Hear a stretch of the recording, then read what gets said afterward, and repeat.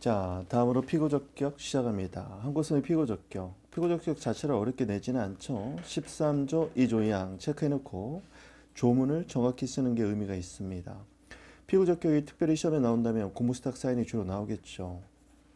또는 우리 시험에 나왔던 적극적 변경 명령 체결에 따른 소의 대상, 아, 기산점, 그리고 피고적격까지 같이 물어봤죠. 우리 시험에서 두 번째로 나, 그 적극적 변경 명령 체결 나왔을 때 정지 2개월도 여전히 무겁다. 취소, 대상과 피고. 자, 피고인 행정청. 행정청은 2조 요양이 있죠. 유의미탁을 받은 그래서 공무수탁 사인이 주로 많이 나옵니다. 재결 취소 재개하면요. 재결을 행하는 행정심판위원회가 피고가 되는 거죠. 대상 피고. 남은 청은 정지 2개월 취소 대상. 처분에 행한 원처분청이 시장의를 피고로 삼아야 되겠네요. 사실 여기는 이제 조문이죠, 조문. 13조, 2조 이하, 유의미탁 정도까지만 체크하겠습니다. 자, 정직 2개월, 소총연의 정직 3개월, 피고, 피고는 행정청, 재결일 때는 행정심판위원회다. 이 정도 체크합니다. 다음은 가우제, 집행정지와 가처분이죠. 집행정지가 주로 많이 나오고 어, 가구질에서 가처분은 판례가 인정하지 않기 때문에 시험에 내기는 조금 변호사 시험에서 힘들 것 같아요. 23조 이하 회복하기 어려운 손해란 금전 보상할 수 없거나 금전 보상이 어, 불가능하거나 또는 가능하더라도 사유관념상 사유통념은 똑같은 말입니다. 참고 견딜 수 없거나 참고 견디기 현저히 곤란한 유무용의 손해다. 어, 판례 핵심 키워드들은 좀 알아둬야 되겠네요. 어, 금전보상이 중요하고요. 그리고 참고 견디기 현저히 곤란한 유무용의 손해가 다 포함된다. 무용은 무용까지도 포함된다는 거 기억하십니다. 집행정지. 자.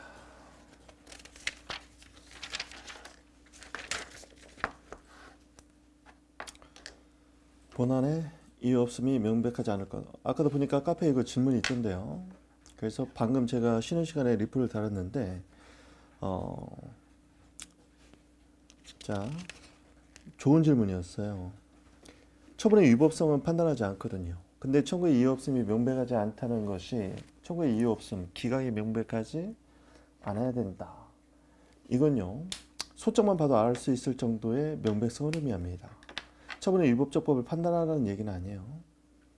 어, 소장만 봐도 소장의 청구 취지 외에 청구 원인을 읽어보니 소송 요건을 갖추고 있어서 본안 판단으로 넘어오는 가나 어, 이유 없는 것이 명백하다. 즉 어, 명백하지 않아야 된다. 즉 인용 가능성이 어느 정도 있어야 되, 는 거예요. 인용될 가능성이 전혀 없는 그런 청구 원인이 기재되어 있다면 안 해주겠다 뭐 이런 얘기죠. 왜냐면 인용판결의 실효성 확보의 취지를 갖고 있기 때문입니다. 도식 가스 사업 보에서 정한 기간 만료 갱신허가 신청 만료 후 신청이면 갱신 신청은 아니죠. 판례 거부처분 어, 신청치로 되돌아가는데 불가다. 따라서 신청에 따른 처분해야 될 의무가 생기는 것은 아니기 때문에 손해방지에서 아무런 소용이 없어서 효력전일 구할 이익 없다. 자, 시험에서 많이 나온 대상이네요. 거부점은 집행정지 대상인지 어, 신청시로 돌아갈 뿐이다. 즉, 어, 거부점에 집행정지 된다고 해서 신청에 따른 처분을 해야 될 의무는 없는 거죠. 따라서 신청 이주로 돌아갔을 때 기존의 법률 관계가 그대로 존속할 뿐이기 때문에 뭔가 새로운 이익이 없다는 거죠. 그래서 판례는 부정하고 있습니다.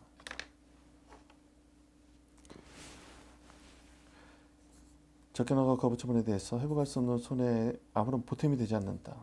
정지 필요성이 없다. 필요는 뭐예요? 이익이죠. 어, 집행정지 이익이 없다 이런 말입니다. 거부 처분에 대한 집행정지 가능성 부정. 다만 절충설이 있죠. 갱신허가 신청에 대한 거부 처분은 인정할 필요가 있다는 견해가 있는데 이때도 두 가지 요건이죠. 허가 자체가 아닌 허가 조건이 기한이면서 만료 전 신청해야 됩니다. 사안처럼 만료 후 신청이면 또 안 돼요. 민지법상 가처분 인정 여부. 거부처분 취소 소송의 본합형 일 있잖아요. 잠정적 권리구제를 도모할 수 있는 수단. 잠정적이다. 가구제죠. 어, 수익적 처분에 대한 거부나 부작위일 때는 가처분도 일단 논의를 해야 됩니다. 가처분에 금전의 특정 급으로 목적한 청구의 집행보존을 위한 임시주의를 정하는 보존처분을 말한다. 자, 부정설, 긍정설이 있죠. 판례가 인정하고 있지 않기 때문에 중요성은 좀 떨어집니다. 판례 핵심 키워드 위주로 공부를 하세요. 가처분, 집행보전, 임시지를 정하는 보전 처분이다. 임시지를 정한다 정도만 알아두면 되겠네요.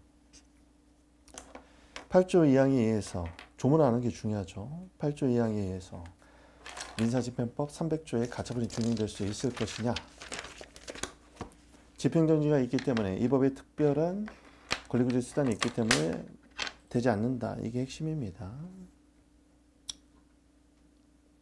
민사소송법사 가처분 행정의 금지를 구하는 것 사용될 수 없다. 부정설을 취하고 있어요. 여기서 더 중요한 거. 최근 어떤 판례가 나왔어요? 아, 집행정지가 준용되지 않는 당사자 소송에서는 8조에 의해서 민사집행법 300조에 가처분이 준용될 수 있다는 유명한 판례가 나왔죠. 그것까지 알아두세요.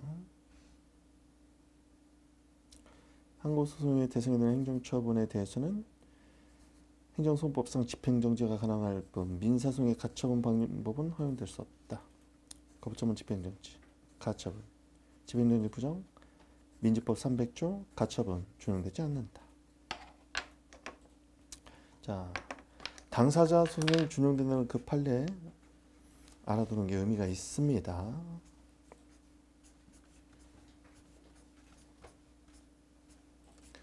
자, 저는 지금 주황색 체크를 하지 않았습니다만 여러분 입장에서 필요한 단어가 있으면 주황색을 긋는 것도 나쁘지 않습니다.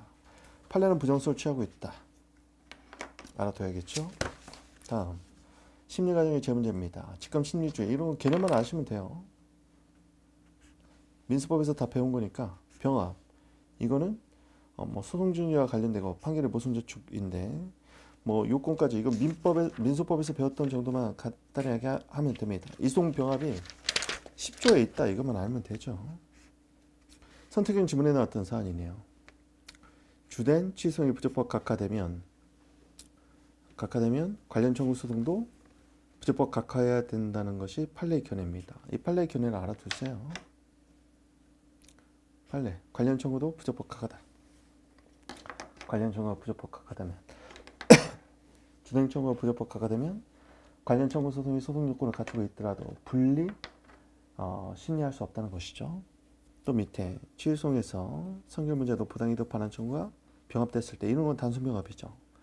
그 청구가 인용되려면 즉 부당이득 반환이 인용되려면 그 소송 절차에서 처분이 취소되면 충분하지 확정될 필요는 없다. 확정은 30까지 올라가야 되잖아요. 30까지 올라갈 동안 부당이득 판단을 못한다는 것은 변론 분리가 되기 때문에 병합 취지에 반해버리죠. 따라서 취소되면 충분하다.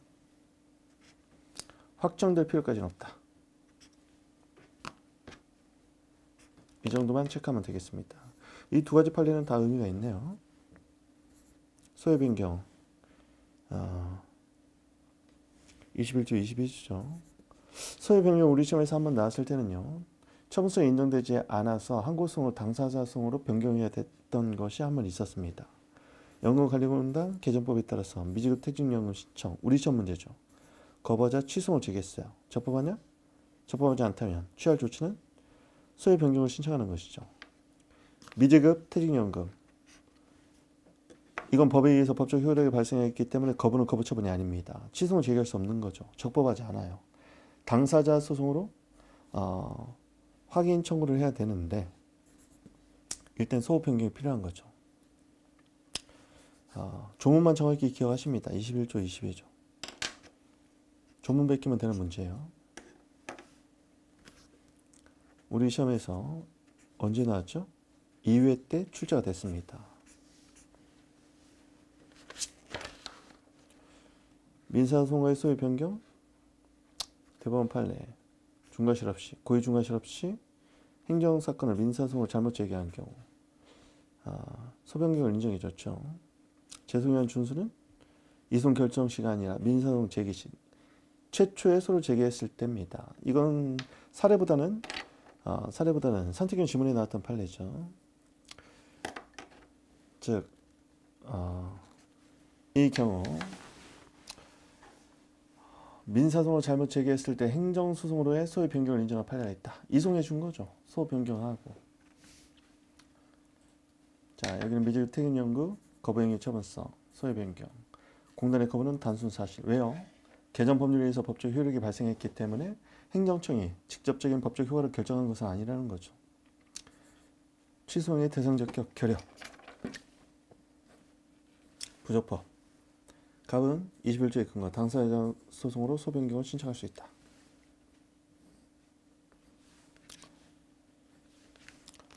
자, 특이한 문제였어요. 왜냐면 타 시험에서는 소변경을 이렇게 낸 적이 없었거든요. 그렇지만 이 문제가 나오기 전에 선택형 질문에서 미지급 퇴직연금에 대한 지급 청구에 대한 거부는 거부 처분이 아니다. 이 판례는 이미 있었습니다.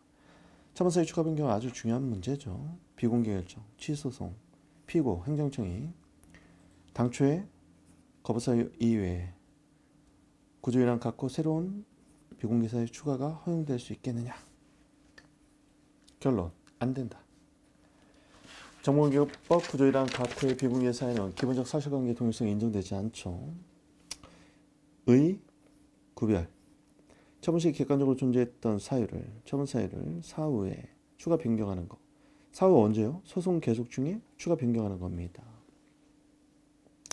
자, 하자치유는 처분 시 이후에 발생한 사유라는 점에서 구, 처분 시 객관적으로 존재하는 추가 변경과는 구별된다는 것. 이유 제시는 절차에 관계된 문제인 반면에 추가 변경은 실체법상 적법적, 적법성 요건. 실체법이라는 건 뭐예요?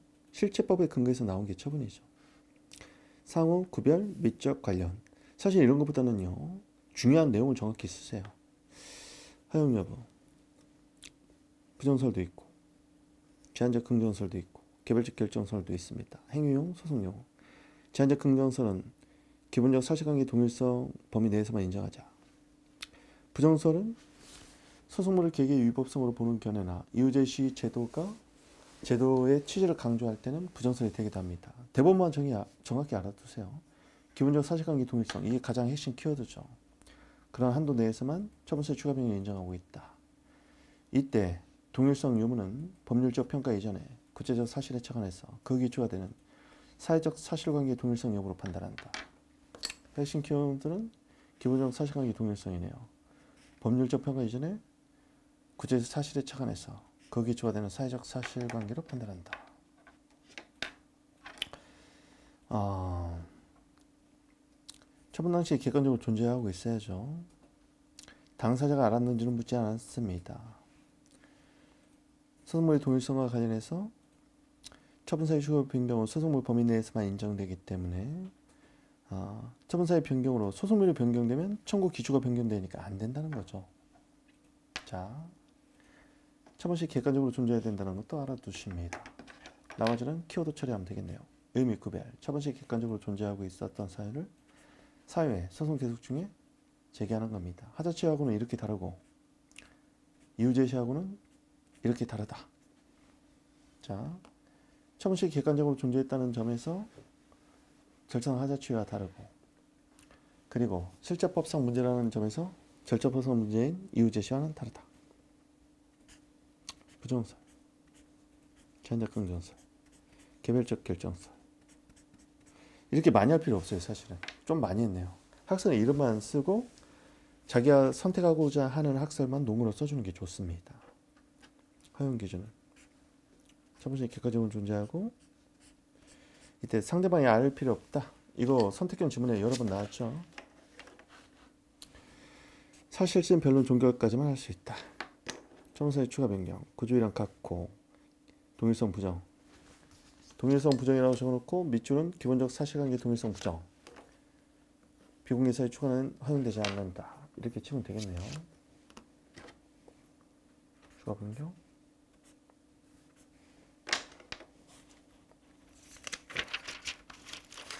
주장 입증 책임 별로 중요하지 않습니다. 그냥 시간 될 때 한번 읽어보세요. 시- 주관식 시험 문제하고는 거의 상관없습니다. 올해 우리 시험 어딘가 나온 것 중에 입증 책임 중에서 강의 시간에 많이 하긴 했었는데 음, 무효사에는 원고가 입증해야 된다는 거 있었죠. 뭐 강의 시간에 많이 했던 내용이어서 다들 맞췄을 거라고 봅니다. 처분의 위법성 여부는요. 법정적인 원칙에 따라서 처분청이 처분의 적법 여부를 입증해야 되는데 어, 무효사유인 중대명백서는 특수한 하자로서 원고가 입증해야 된다는 거 뭐 강의 시간에 많이 얘기했었죠. 어, 올해 시험 문제 8회 시험 문제 보니까 있더라고요. 폐기물 처리업, 인근 주민이 취소용 제기, 어, 소송법상 권리구 제수단, 갑에 대한 폐기물 처리 허가에 대해서 인근 주민이 제기했으면 이민 소송이죠. 이때 처분에 직접 상대방인 갑이 어떻게 해야 되느냐? 소송 참가해야겠죠. 자, 16조 이전에 아, 29조 1항에 아, 대세율을 먼저 엄, 언급해 주는 것도 상관없습니다. 29조 1항 여기 나 있네요. 취소 판결의 대세율 때문에 제3자를 보호해야 될 필요성이 있다는 거죠. 16조는 베끼면 됩니다. 소송장관 요건 이건 베껴야죠. 그냥 암기할 필요 전혀 없습니다. 조문 그대로 베끼면 돼요.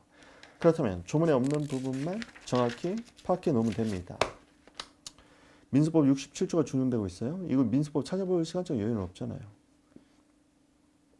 강화상 공동소송적 보조창간의 지위에 유사하다. 따라서 피장가행의 저촉되는 행위를 유리하다만 할 수 있는 거죠. 집행적 결정에 취소 청구도 할 수 있고 독립상소도 가능하고 상소기간도 독립기산된다. 31조는 이것도 조문만 정확히 알면 됩니다. 취소 판결에 의해서 권익을 침해받는 제3자가 책임 없는 사유로 소송 참가를 하지 못했다면 판결 결과에 영향을 미칠 공격 방어 방법 제출하지 못했을 때 종구 판결에 대해서 재심 청구를 할 수 있다. 지금 키워드 위주로 제가 읽었죠. 여러분도 키워드 위주로 읽어야 됩니다. 강화상 공동소송 보조 참가인이 지혜 유사하다. 여기까지 다 체크해야겠습니다. 자, 16조가 많이 나오죠. 그리고 가상, 가능한 소송 행위도 답안지 써줘야 되니까 알아두세요.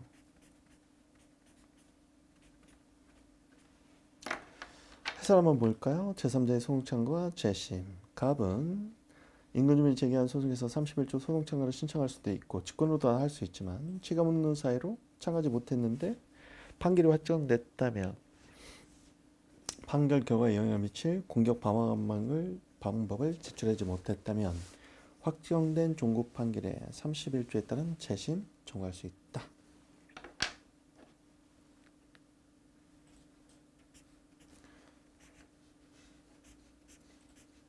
지금 여기 써 있는 내용들은 사실은요, 어, 조문에 다 있는 내용이죠. 31조 소송차가 어, 소송차가 16조죠. 죄송합니다. 이거 16조 31조 조문이 틀렸네요. 재심이 31조죠. 자, 조문을 바꿔주세요. 31조가 아니라 16조 소송창가입니다. 자, 너무 자연스러워서 어, 교정이 안 됐습니다. 죄송합니다. 갑은 상가 건물을 신축하고자 허가권자 도지사 을에게 건축허가 신청을 했네요. 소방본부장 병에게 건축 동의를 받아야 됩니다. 의리 거부 처분을 한 경우 갑이 의리 거부 처분에 대한 취소해서 소방본부장 병을 참가시킬 수 있느냐? 행정청의 소송 참가네요. 행정청의 소송 참가보다는 제3자의 소송 참가 더 많이 나옵니다. 법원이 신청할 수 있죠. 소의 대상은 대적 처분인 도지사 의뢰 거부 처분입니다. 소방본부장 병의 내부적 부동의는요. 대적 직접적 법적 효과가 없기 때문에 처분이 아니죠. 따라서 소방 본부장 병을 상대로 부동의를 다툴 수는 없습니다. 그러니까 소송청을 시켜야 되는 거죠. 행정청의 소송 참가란 법원이 행정청을 소송에 참가시킬, 참가시킬 필요가 있을 때 인정, 당사자 또는 신청, 직권으로도 할 수 있어요. 17조에 있다는 것만 정확히 아시면 되겠네요. 나머지는 베껴도 됩니다. 자, 나머지는 키워드 위주로. 여러분 이렇게 열심히 해놓고 나서 책을 누적적으로 안 본다. 됩니까? 안 됩니까? 안 되죠. 주황색 위주로 보면서 전체적으로 remind 합니다. 보도창간에 준하는 식. 자, 완벽하게 다 숙지하려고 하지 말고 뭘 배웠는지 주황색 위주로 보면서 내용을 한번 remind 하는 겁니다. 자, 잠깐 휴식을 취한 다음에 또 하도록 하겠습니다.